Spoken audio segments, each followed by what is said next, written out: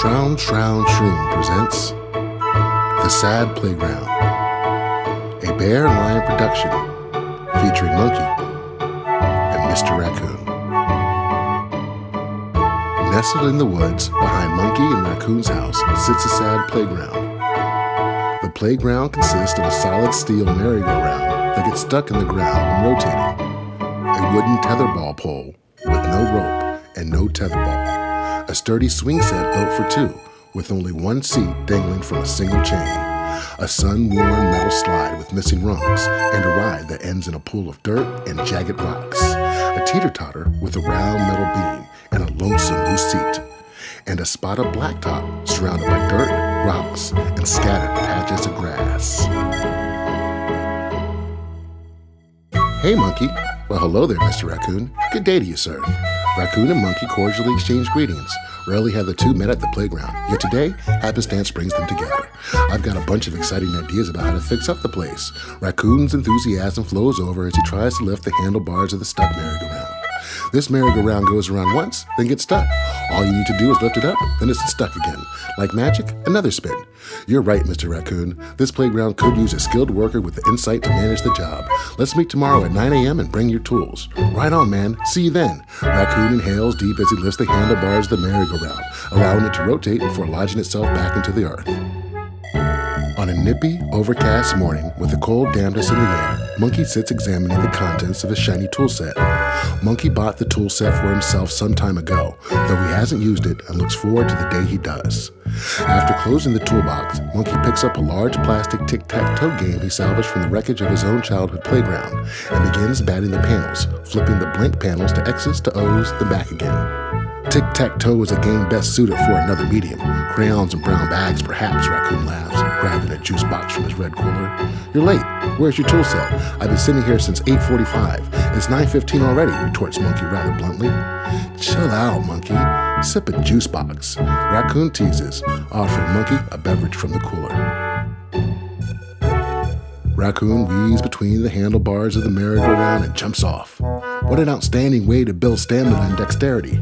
Raccoon grunts and lifts the stuck side of the merry-go-round, allowing it to make a single spin before getting stuck again. Oh yes, what a workout. Feel that deep burn. Well, yeah, let's get started fixing the wobble on this merry-go-round. Monkey proudly clutches his toolset, assessing the stuck hunk of metal. It'd be a lot easier to leave it as is, unless you have a solution in mind. Raccoon grins, eyeing Monkey's shiny toolbox. Monkey mumbles somewhat nervously. Maybe, maybe later, we or I could go on the internet and look up how to level the darn thing. Shrewd move, dude. For now, we've got a boss piece of fitness equipment. Time to focus on making some tetherball action happen. Raccoon motions toward the bare tetherball pole. Up the plastic tic-tac-toe game, Monkey announces, If we're gonna work together, we'll have to learn how to compromise. I'd like to mount this educational tic-tac-toe game to the tetherball pole. You want to replace tetherball and tic-tac-toe because you can't fix the merry-go-round? Raccoon chortles with a clear air of sarcasm. It'd be a lot easier for me to fasten this tic-tac-toe game to this pole than for us to find a ball and a length of rope to make tetherball happen. Using the hammer and a couple of nails from his tool set, Monkey fastens the plastic tic-tac-toe game to the wooden tetherball pole, steps back, and admires his handiwork. Throwing rocks is an excellent form of training. Aiming at these tic-tac-toe boxes requires pinpoint accuracy. This is definitely a worthy challenge, says Raccoon with glee, chucking rocks at the tic-tac-toe game and flipping the blank panels from X's to O's. Stop! You're chipping away at the plastic, cries Monkey. Stop! Stop playing games and get back to business. Let's fix this swing. The duo looks down at small chip pieces of the plastic tic-tac-toe game scattered on the ground. We can build a tire swing, Monkey whispers. There's an unused tire in the woods. I'll get it. Monkey returns with the tire to find Raccoon dangling from the chains of the swing set. We don't need a tire swing. I fashioned these chains into loops to practice pull-ups in the iron cross to build upper body strength. Monkey casts the tire down in anger. We agreed to build a tire swing. You muttered rubbish about being tired, then sulked into the woods, upset about your tic-tac-toe game, while I constructed an Olympic-style gym, Raccoon replies slovenly while hanging from the chains. I bet you can't do a single pull-up. A tire swing is a superior idea. Monkey spoke with condemnation. Superior? Ugh, that tire is covered in mud, crud, and bugs. I've already blasted my arms and shoulders. Now to stretch my legs. Raccoon darts off to the slide, leaving Monkey behind, inspecting the knotted chains. I supposed to untangle your mess and secure the tire swing while you play on the slide? Monkey's visible agitation prompts Raccoon's passive aggressiveness. I've contributed pull up chains suited for Olympians. You've contributed a dirty old tire. Whose idea is superior? Raccoon cackles standing at the top of the slide before taking a slow ride down. Well, I could add rungs to the slide, or remove some of the rocks from the landing, or better yet, pad the landing with mulch. Mulch I make with wood foraged from the forest. you want to make mulch? Raccoon retrieves a bottle from his cooler before scurrying to the top of the slide, saying, The missing steps are perfect. They help me stretch my legs. The rocks are fine too, but what this slide needs is olive oil. That'll knock the job out quick and easy, fast and greasy. Raccoon pours a generous portion of olive oil on the slide and whisks down in a flash, tumbling the dirt and rocks below, battering his body with several nicks, cuts, scrapes, and bruises. The phrase is easy peasy lemon squeezy. You don't even know what you're saying. In bewilderment, Monkey continues. This playground is totally unsafe. My kids don't like coming here with me, and I can't blame them. Monkey fills with rage and begins attacking Raccoon with insults. You're a lazy, lackadaisical, slapdash, anything goes shoot from the hip raccoon, filled with delusions of physical self improvement. You can't even do a single pull up. You have kids?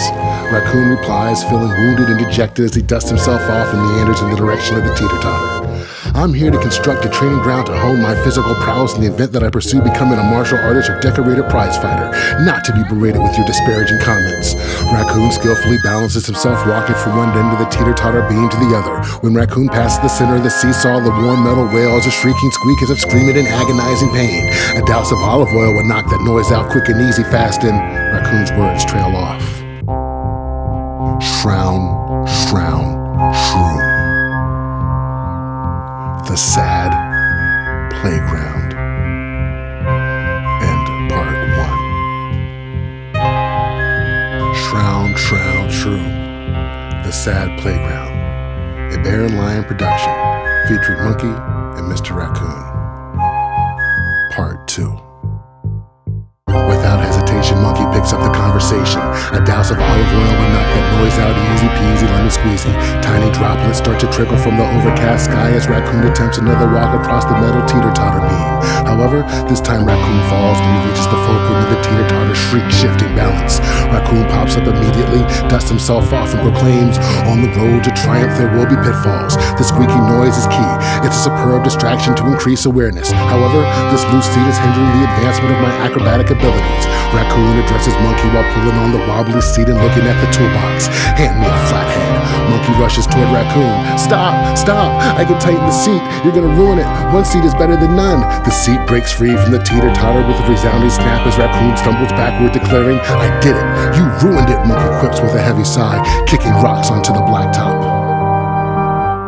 You've ruined it, Monkey repeats to himself. Now neither of my children can use the seesaw. Sure they can. The teeter-totter is now a streamlined balance beam good for raccoons, adults, and tots alike. Mr. Raccoon tosses Monkey the seat, then drags his cooler onto the blacktop. Incensed, Monkey launches the broken seat into the surrounding woods, yelling aimlessly into the thicket. The teeter-totter is not good for raccoons, adults, and tots alike. This playground is a sad mess. I just wanted to make a safe place for my son and daughter to play together. Mr. Raccoon sips from a juice box and offers Monkey a bottled water along with a package of orange peanut butter crackers. I understand a training ground could be too dangerous for your young ones. I don't want anyone in your family getting droplets continue to drip as Monkey chews the peanut butter crackers. These crackers are salty. They can be. Raccoon smirks, finishing his juice box. Maybe your kiddos would like to play hopscotch. I could draw a hopscotch game on the blacktop if I can find the right rock. Hopscotch is a wonderful idea, Monkey agrees. Both of my children could enjoy hopscotch together. There's chalk in my toolbox. I'll get it. Mr. Raccoon scrambles on all fours, selects a rock, and begins sketching a hopscotch grid. Mr. Raccoon, this chalk is still in its original packaging. Would you like to take the honor of? In a burst of energy, Mr. Raccoon rips into the package, spreads the chalk across the blacktop, and drops to his knees, coloring letters, numbers, squares, triangles, and various shapes, winding in a large, elaborate pattern. Oh wow, this chalk is fun and inspiring. Hey, I know. Do your kiddos like Foursquare? This hopscotch can end in a big blue Foursquare court. Nubs of discarded chalk, rocks, and a colorful winding hopscotch game decorate the blacktop as Mr. Raccoon fills in the outline of a big blue Foursquare court, professing, Now I'm in my blue period. Stop, Monkey wails. You're doing it wrong. Stop. You're wasting all my chalk. The droplets pick up in pace and increase in size, creating small rainbow color splashes and puddles on the blacktop. Blue smears of chalk cover Mr. Raccoon's brow, and his hands are a kaleidoscope of colors, although mainly blue. Excuse me? I'm doing it wrong? I crafted this masterpiece for your family, not my training ground. All my chalk is gone. Used up all my colors except for white. The white chalk lay on the ground virtually untouched alongside other colors worn to or past their halfway marks. I took advantage of the chalk design a game for your kiddos, not myself. I was happy sketching with the rock. Raccoon draws a tic-tac-toe hashtag with the white chalk, then cracks the white chalk in two and blindly passes a piece to Monkey. Bigger half goes first. Monkey puts an X in the top right corner of the tic-tac-toe grid and the match ends in cats. The pair share an uncomfortable yet knowing stare, then silently part ways, heading in different directions under the falling rain. The last page turns, the book closes, and the children visit dreamland. Good night. Rabbit kisses Monkey Jr. and Little Miss Rabbit on the forehead, tenderly tucking them into bed. Is that story about the playground at Dad's house? Monkey Jr. asks. Little Miss Rabbit giggles. Dad's house does have a sad playground. The playground at the park is tons more fun. I remember when Dad first got that tool set and you guys got into a fight over money. Monkey Jr. sits up in bed concluding, Mom, is that story about Dad? Some of the names and events have been changed to protect the parties involved. Good night, children. Rabbit turns off the light, but before she can close the door, little Miss Rabbit asks, Mom, will brother and I be staying with Dad again this summer? We'll figure out the end of that story as we go. I love you, children. Good night. Rabbit hears a chorus echo. We love you, Mom. Good night. And closes the door. Jose Vargas Pacas of Shrown, Shrown, Shroom presents The Sad Playground, a Bear and Lion production featuring Monkey and Mr. Raccoon.